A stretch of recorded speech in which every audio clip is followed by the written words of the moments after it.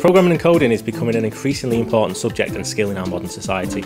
Using Vector Robotics is a way of bringing coding to life and can help engage students by allowing them to see the physical result of their programming. Teachers don't need to be concerned about this new influx of programming to the curriculum because actually it's very simple right from the off. Children are able to pick up this type of programming and use it in a very practical way as well. Vex robotics can run on various different programming languages from graphical to text-based languages as well. That means that you can get really young kids involved and they can understand programming right from a young age using things like Robot Virtual Worlds. Robot Virtual Worlds runs on an iPad as well, which children are becoming increasingly familiar with, and so it kind of naturally stems from their interest in robotics.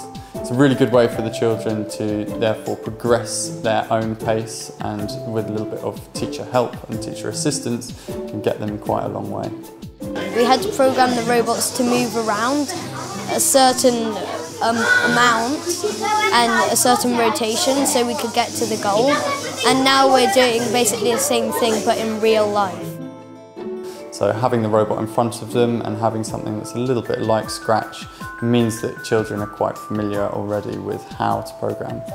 But then they can progress onto much more complicated programming and that'll set them up for uh, much more difficult programming challenges in the future.